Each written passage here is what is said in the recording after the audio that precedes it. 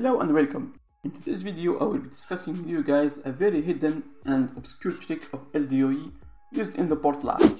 This trick revolves around the Thorns perk and I first saw this trick showcased in the live stream of one of our favorite LDOE YouTubers, Happy Sire. He talked about it and used it in the port lab and in today's video I will try to do the same and see if it's worth it or not. I'll be clearing the sector A1 of the port lab using this trick because I actually for the first time have the Thorns perk available. So, first let's explain how the Thorns perk work.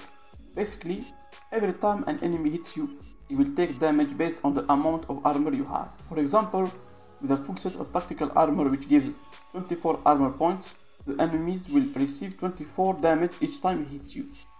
The better the armor, the more damage you will do. A full set of Siberian armor gives 32 armor points, while Kevlar gives 38, which is the best armor you can get as of right now in LDOE. To maximize the efficiency and effectiveness of this trick, head over to your cooking stove using carp, perch and salmon. You will cook a dish called fish mix, which will give a 10 armor points increase when eaten. Unfortunately, you can't take the meals with you, so make sure to leave until you are fully ready to go to the port lab. Now let's jump right in the lab. The way you want to use this method is pretty simple. I recommend having some melee weapons and guns just in case. But as you will see by the end of this video, I'm not going to use too much. And as for the armor, I'm using a full set of Kevlar armor. Combined with the fish buff, the zombies will receive 48 points of damage each hit. Also, for this trick you will need a lot of healing items. Make sure to bring enough of medkits and bandages, or even beans. How to do it? Pretty simple. I the zombies and just stand there and let them hit you.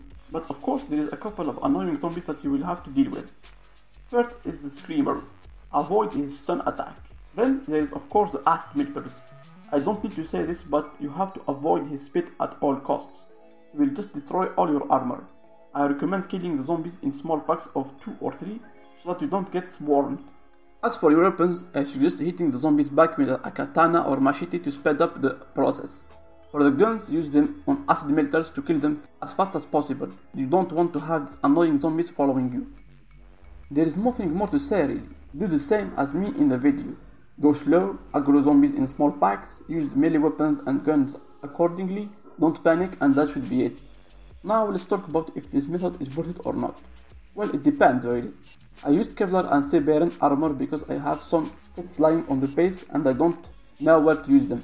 But some would say that it's a waste, but all in all, I'd rather use armor than guns. Then there is the loot you get. The port lab loot is kinda mid when you are an advanced player and have completed the drone.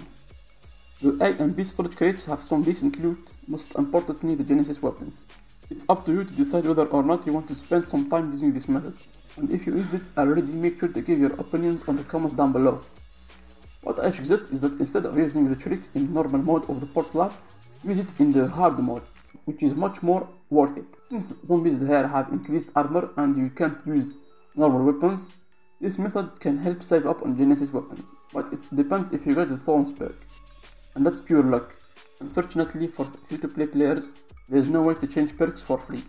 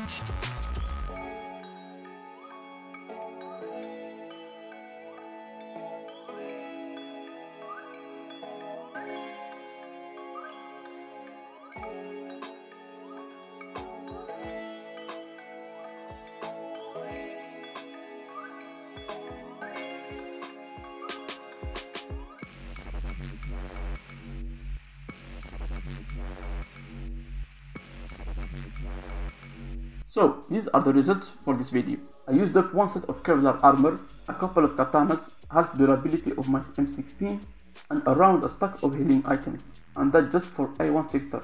So, you think, you think this was worth it? Do you think this method is effective in clearing port lab? Make sure to share your thoughts on the comments down below. In my opinion, this trick is definitely something you want to try. Just for time to time check what perk you get and if you are lucky enough to get the Thorns it out, especially if you are an advanced player with lots of armor and medkits, just sitting in your base rotting away. Thanks for watching, make sure to like, comment and subscribe. That's it for the video, bye bye.